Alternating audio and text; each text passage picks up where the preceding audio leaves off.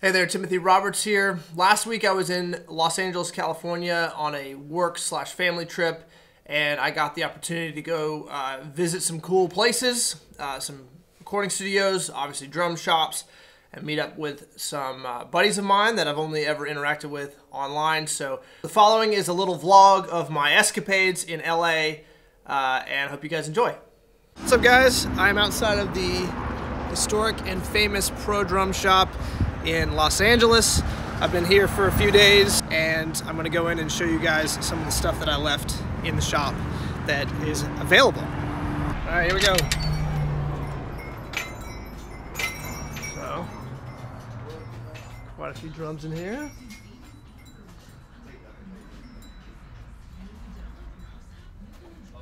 Recognize that?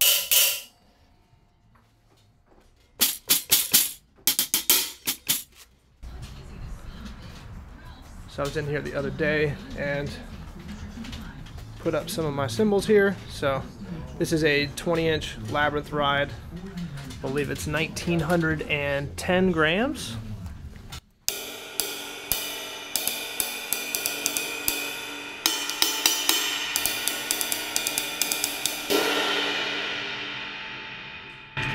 Also left this 20 and 3 quarters flat ride from the Prism series. Uh, I think it's in the 1800 grams. Yeah, 1845 grams.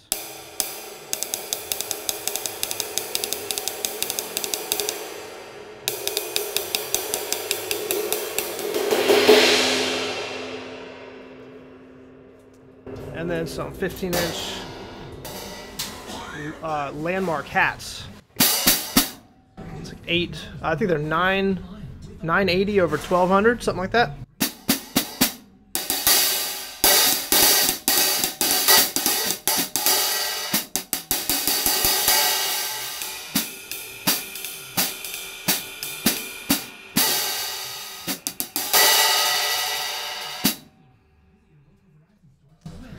K-Stack from Stack Ring.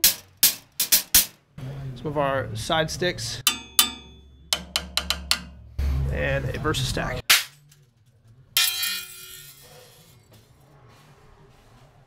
Pretty awesome.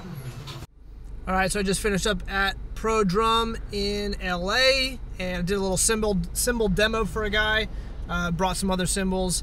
I've got more coming today. Uh, I'm just hopping around LA, sitting in traffic for a long time, uh, meeting with some people. So let's uh, continue this day in the life of a North Carolina cymbalsmith in LA. All right, so as you can see, I'm in different clothes. Uh, yesterday ended up being a crazy day. Uh, stopped by a studio, met with a drummer, and we some cymbals. And then after the after that, I went over to Jerry Porter's spot. Uh, you might have seen if you go on Instagram, there's a Instagram live we did together talking about cymbals, and um, it was just a very full day. But I've got more clips of what I'm doing today, which is going to another studio to meet with another drummer, friend of mine, and he plays uh, a few of my cymbals, I think. So we'll see if he has them with him on the session. And then I'm going to go back to Jerry's spot at Hazelshould and do a little quick thing of the cymbals that I left that are available or will be available on Hazelshould So let's head. Backing up, backing up, backing up.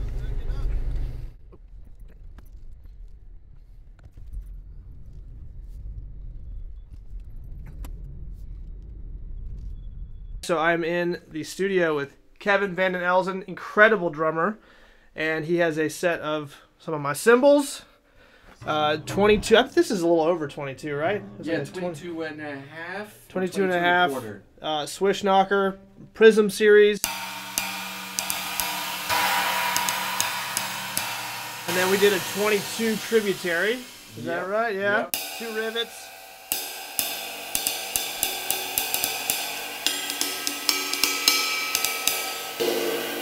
And then the 20 Landmark Brilliance. Mm -hmm. I'm remembering this. Wow.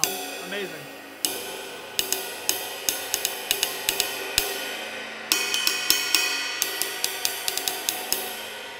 And then we did some 14 tributary hats. Those, I think you call those signatures. Oh, this is this is old. These yeah, are old ones. Old, yeah. Oh yeah, I remember these. Yeah. Killer. And let's shout out Paul Francis here with the 18 Cymbal Craftsman. Cool.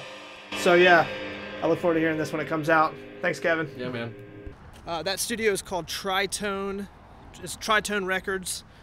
And I was looking on the wall. I didn't get a chance to show it, but on the wall, uh, he had the owner had all the CDs and all the records that they had done there. And there was a ton of stuff with Jeff Jeff Hamilton, Joe LaBarbera.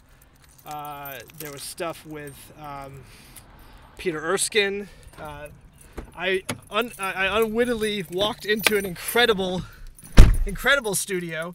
Uh, so yeah, look up Tritone Records, and yeah, that you know I didn't obviously didn't want to capture any of them recording because obviously it's their music. So uh, maybe I'll try and post below what the project is, and uh, you guys can keep a lookout for Kevin uh, with that trio. So music, incredible music. Um, and I'll have to also post the names of the other musicians involved so you guys can keep an eye out for when that record drops. But that was really cool to hear my cymbals in that environment. Oftentimes I'm I'm kind of surprised when I hear my own cymbals uh, recorded or I am in a situation like in a studio and I'm hearing playback of my cymbals. I didn't know it was all my cymbals that he was playing, but he had, you know, full set like I showed and uh, just being able to hear stuff translate. I was talking to Kevin in the studio just a minute ago about the difference between drummers and how we perceive sound behind the kit versus how the sound translates through the mics and through you know in a room and how an audience will perceive the sound of the drums and the cymbals and how uh, being able to balance those two things if you just pay attention to what you hear and you're not paying attention to well how is this translating in the music then you get into trouble so we were talking about that and um, all of those cymbals were were fairly lightweight. I, I, I didn't get the weights on them in the video, but I can remember them now. So the 22 swish, I think was around 2,200 grams, so thin for a 22. The 22 tributary in the main position was also around 2,200 grams, 2190, I think. So very thin. The patina is what helps that dryness, give it that dryness and that clarity. The left side was was about uh, 1790, I think, and then the hats were a real old set that I had made years ago that are 14, and they were, I want to say like 810 grams over top of a 790 grams, so match weighted, but the bottom hi hat being being lighter. So uh, they had great clarity through the mics, and it was you know a trio setting, so quieter. Um, but yeah, I was really happy with that. That was really cool to meet Kevin in person. I've known him uh, for a few years, obviously, uh, but only over the interwebs. So Kevin Van Den Elzen, you can also see him do a lot of demos at the Memphis Drum Shop for the Jim Pettit's spot there. So um, you can hear his incredible playing there, but definitely check out Kevin. And it's off to the next spot. All right, so I am currently in uh, the mecca of of cymbals, the infamous Jerry Porter of Hazelshould. And yesterday or two days ago, I dropped off three cymbals. One is gone, but I have these two left uh, that are going to be available. Uh, one of which he posted the other day on Instagram. So we got this 22 and a half Labyrinth, 2,425 grams. His demo is way better than this will be, but give you an idea.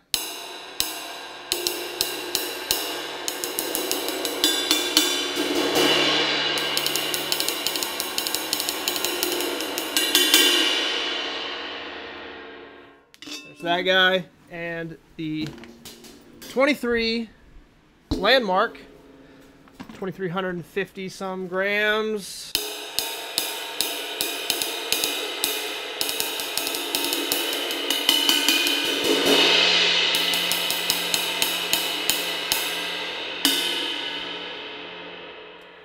So these are available on uh, Jerry's site, and you uh, can reach out to him. You can also get I mean, as you can see, as many cymbals as you could ever want. He's got some of the coolest selections. He has the coolest selection of anyone. Hazelshould.com.